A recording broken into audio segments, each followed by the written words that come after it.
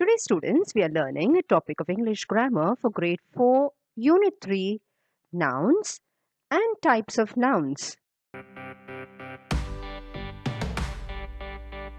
All things around us are called something. They all have names. All people have names. Man, mother, soldier. All places have names. Beach, shop, library. All animals have names. Fox, butterfly, elephant. All things have names. Computer, flower, book. All these names are called nouns. So, what are nouns? Nouns are the names of people, places, animals, and things. There are so many things around us.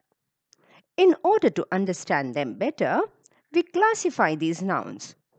So, students, in grade 4, we will learn the following types of nouns common noun, proper noun, collective noun, material noun, and abstract noun.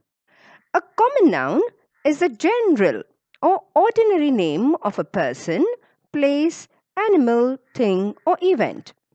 For example, doctor, teacher, mother, sister, ground, hospital, tiger, pencil, cricket, movie, and so on. They are all ordinary names. It can be named for any doctor, any teacher, any ground, any hospital, any animal. So, the general names that we give are called common nouns. Let's look at these sentences to understand common nouns. The girl has a beautiful cat. Here, girl and cat is a common noun. Girl could mean any girl. Cat could mean any cat. Let's look at the second example. The dog is playing with a frisbee in the park.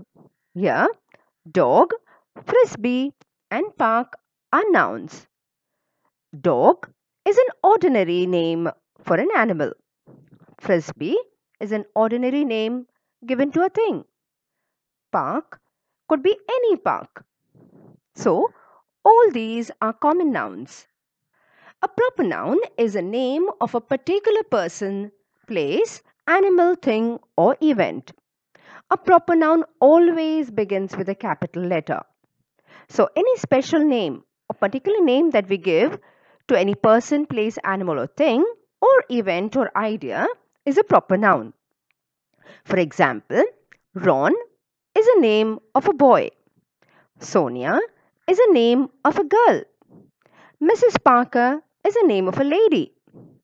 Mumbai and London are names of places. Honda City is a special name given to a car. Sony TV is a special name for a TV. And Olympic Games are the special name given to games. So all these are proper nouns.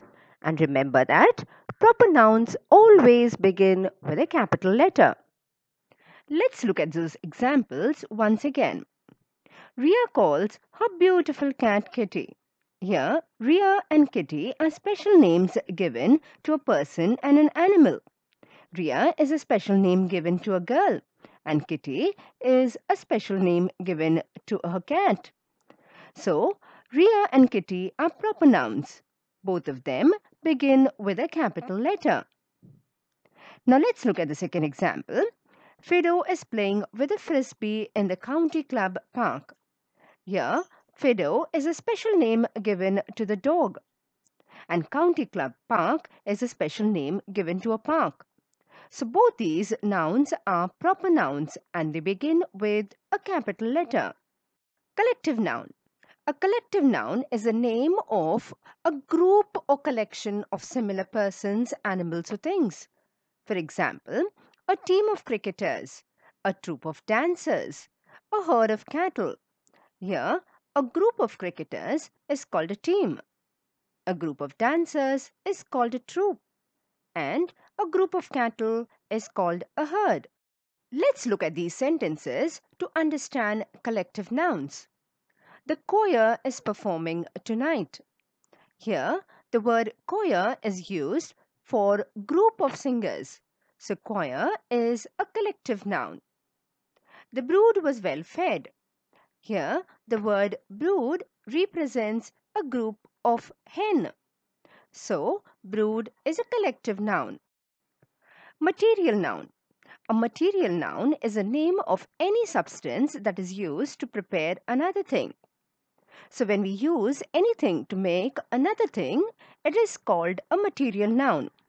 For example, wheat, gold, silk, stone, plastic, paper, glass, wood, etc. Let's look at these sentences to understand material nouns. Simi looked elegant in a silk dress at the party.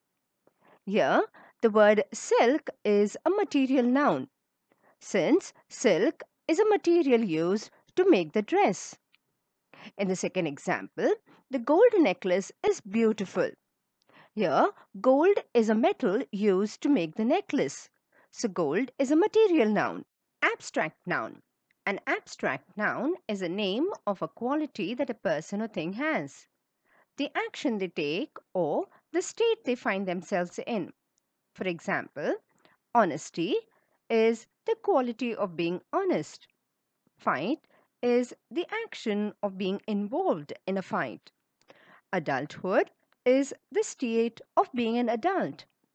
Poverty is a state of being poor. Let's look at these sentences to understand abstract nouns. The sports event was grand success. Here, success is an abstract noun. Sam was in great pain after hurting himself. Here, pain is an abstract noun. I hope you have understood the lesson, children. Now let's solve an exercise. See whether the given nouns are proper, common, collective, material, or abstract nouns. Grapes, freedom, sparrow, silver, Mr. Sethi, cup, happiness, flock, France, bunch, glass, joy, Sunday, gaggle, paper. Were you able to solve them, children? Now let's check your answers. Grapes is an ordinary name given to a fruit, so it's a common noun. Freedom is a state of being free, so it is an abstract noun. Sparrow is an ordinary name given to a bird, so it's a common noun. Silver is a material used to make other things, so it's a material noun. Mr. Sethi is a special name given to a person, so it's a proper noun. Cup is a common noun. Happiness is a state of being happy, so it's an abstract noun.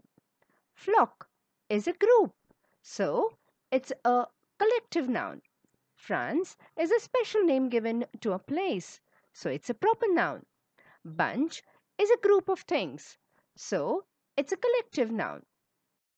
Glass is a material used to make other things, so it's a material noun. Joy is an abstract noun. Sunday is a special name given to a day, so it's a proper noun. Gaggle is a group of geese, so it's a collective noun.